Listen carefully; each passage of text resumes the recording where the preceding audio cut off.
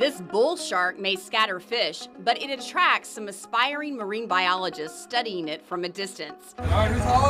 They're aboard the Angari research vessel, teaming up with FIU shark scientists. Get to fish for, tag, work up, and release sharks all day long. Everything's pretty much been decreasing. William Sample is the lead scientist on the expedition with the Royal Palm Beach Community High Schoolers. The students caught this shark shot by assembling a BRUV, a baited remote underwater video apparatus. It's really immersive. It gives me a better understanding of what marine biologists do. The kids fished with success. They cast out the buoys for a thousand pound monofilament lines attached to weighted drums and a huge circular hook baited with bonita fish.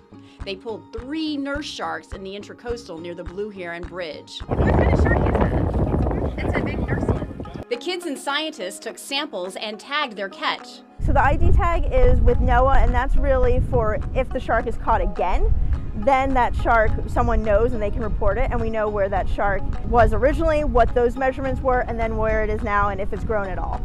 The goal of all of this? To learn more about these apex predators that congregate in such droves off the waters of South Florida. And it's important for the balance of our local ecosystem. And on this Earth Day, it's imparting awareness and interest in the next generation. Knowing that one day a lot of this stuff is, is gonna run out. A lot of the stuff that we that we that we see as like, oh, it's universal, like fresh water, for example, it's gonna run out one day. And I feel like it's really important that we understand that so we can start working towards finding like new ways to like get the things that we need in life.